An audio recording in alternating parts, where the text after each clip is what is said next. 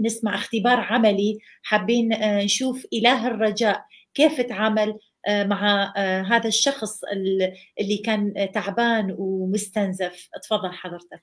إحنا هناخد الفرصة بقى من غير فاصل مش؟ بدون فاصل رح ناخذها طيب. ورا ما ننتهي. طيب تفضل. طيب آه علشان خاطر أكمل أبقى عارف بس. يس طيب شكرا. لا آه ما- لا تفضل يعني ما في فاصل. طيب شكرا شكرا. آه آه بعد ما زواجنا أنا وز- آه وزوجتي من حوالي أكثر من حوالي 32 سنة آه كانت ليها أخت أصغر منها بكم سنة. وكانت آه، أخت حلوة اسمها مريم كانت عروسة شابة آه، لما اتجوزنا كانت هي آه، مخطوبة. وكان كانت سنها 26 سنة وكان خطيبها الشاب المحب اسمه كمال آه، فرحان بيها ودخلوا حياتهم الزوجية كلهم أمل وسعادة آه، بالمستقبل. بعد أقل من سنتين الرب رزقهم بطفلة حلوة سموها كارو الرب العروسين شكروا الله وهم بيحملوا العطية الغالية دهية وبيطلعوا بالأمل للمستقبل. ابتدت الحياة تاخد وضعها الروتيني معاهم. كانت هي شخصية حلوة طيبة آه، آه، آه، جميلة س- شخصيتها آه، دمث دمثت الأخلاق كده. بعد شهور آه، قليلة ابتدأت دقات غريبة تدق على أبواب حياتهم ما كانوش يتوقعوها. هذه الدقات آه، آه، للعائلة البسيطة دهية. مريم سم- سمعت هذه الدقات خافتة متقطعة في الأول أنكرتها في بادئ الأمر. لكن ازداد الإلحاح بتاع هذه الدقات عليها متمثلة في إن صوابع إيديها بدت كما لو كان فيها شيء من الإعوجاج الآخذ في الازدياد. فالزوجين راحوا للأطباء لعل عندهم ما يطمئن. لكن الأطباء تحيروا في هذا السبب. بعد مختلف التشخيصات وإحدى العمليات ما كانش هناك تحسن في الحالة بل ازدادت للحد اللي عنده انكمشت القدرة عند مريم على إنها تستخدم كفين اليدين إلى حد كبير.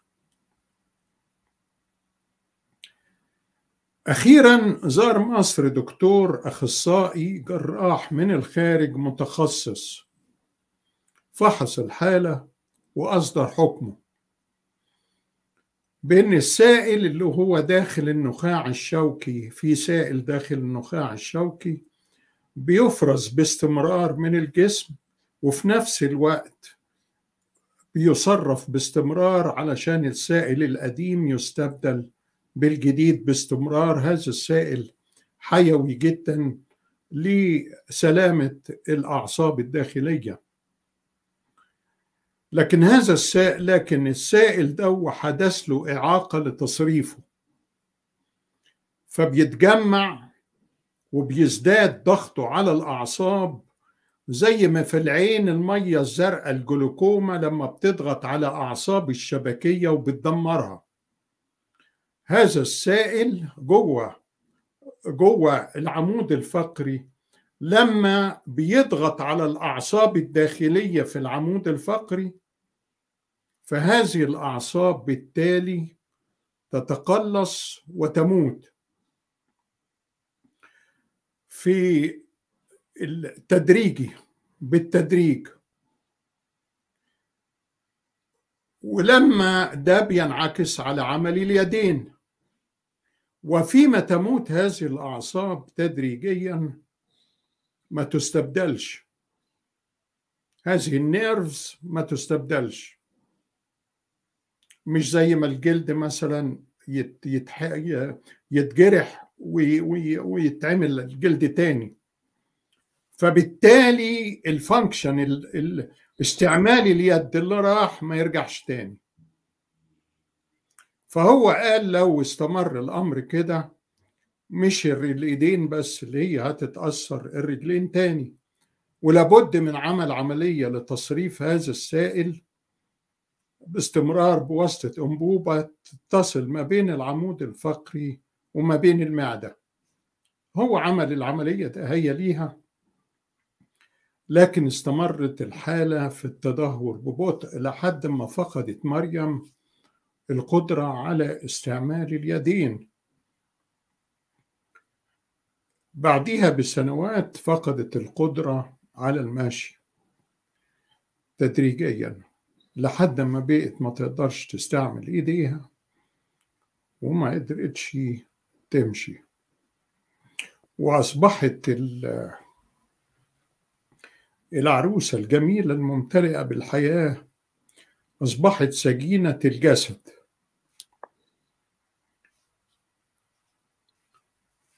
أنا شفتها في مصر لما رحنا مصر سنة 2016 شفت العروسة الحلوة ده هي بهذه الحالة.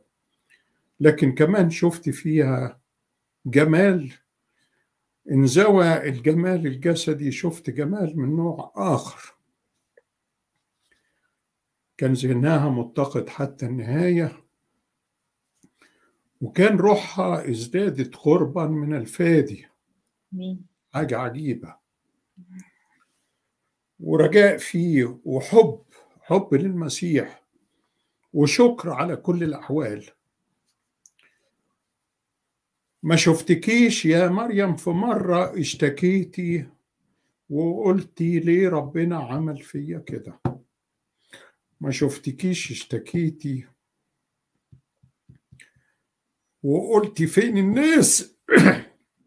معلش أنا تأثري من الموضوع فين الناس يزوروني ما عتبتش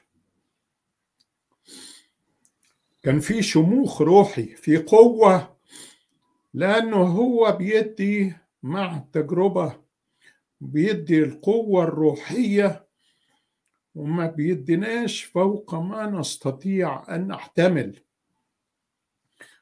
فكان كانت كانت متعلقة بالمسيح وبغفرانه وبمحبته وفي وجوده في حياتها.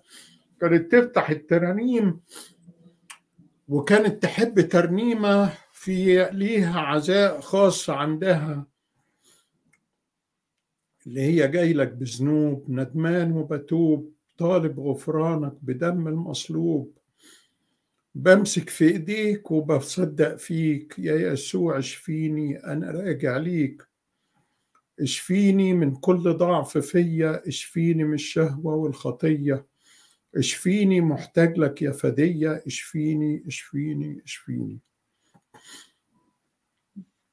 نشكر الرب إنه هو طبعا شفاها وهي دلوقتي معاه في المجد بترنم لشخصه ومسح كل دمعة من عيونها. لكن التجربة القاسية ده هي مع التجربة أعطاها المنفذ.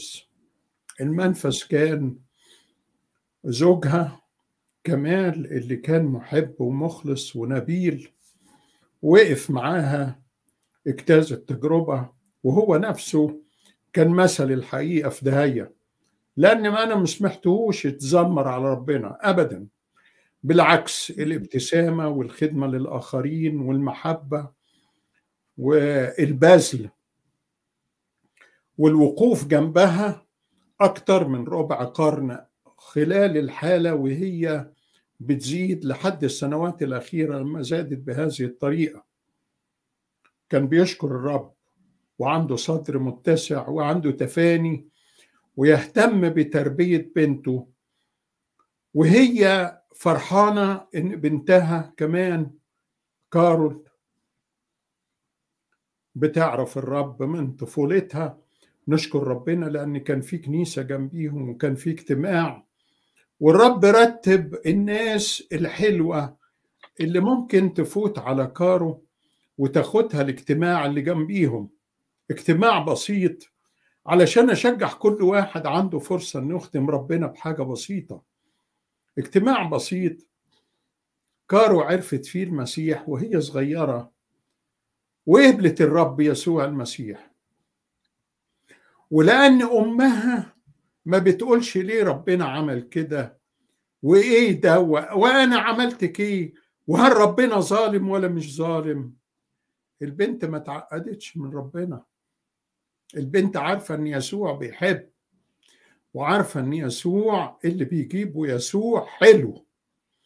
وإحنا ما نفهمش القصد من دلوقتي لكن القصد بعدين هنفهمه.